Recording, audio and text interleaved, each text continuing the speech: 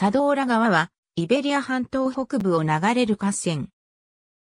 スペインバスク州、アラバ県とカスティーリャイレオン州ブルゴス県を流れる。本流であるエブロ川に合流後、カタルーニャ州で地中海に注いでいる。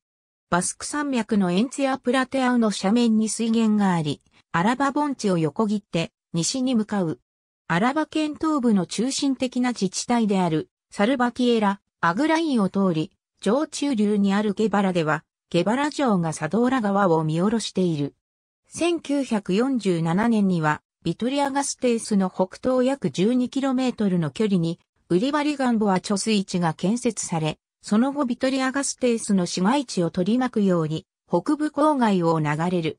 ビトリアの戦いは、サドーラガ市で行われ、ビトリアガステースの西、ラ・プエブラでアルガンソンからトレスプエンテスを通って、メンドーサまでの約 18km の範囲で行われた。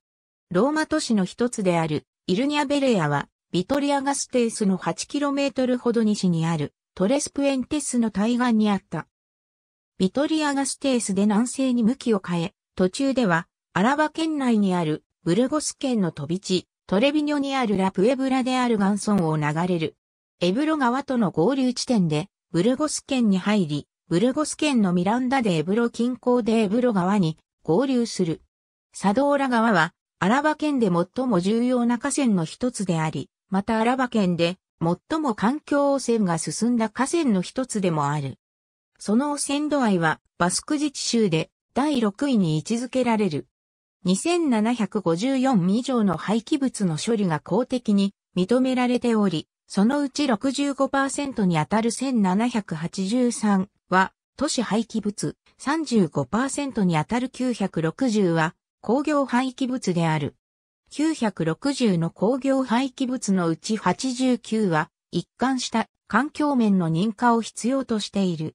不正な廃棄物の処理も環境汚染を考える上で考慮されるべきである。また、処理される工業廃棄物の一部は、それが本来あるべき姿よりも汚染が深刻である。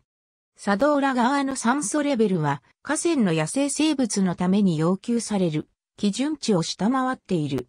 河川の状況はまた毒素の存在によって悪化しており、毒素のレベルは欧州連合の許可値を超えている。2008年にエブロ水利地理連合はサドーラ川を含むエブロ川周辺の河川についてのレポートを公表した。2004年から4年間にわたって河川の汚染度を測定した調査では、佐藤浦側の汚染度が大きく許可値を超えていたことが明らかとなった。これを踏まえて、流域の自治体は廃棄物処理の許可に関する制御プログラムを開始し、汚染度合いはいくらか減少した。ありがとうございます。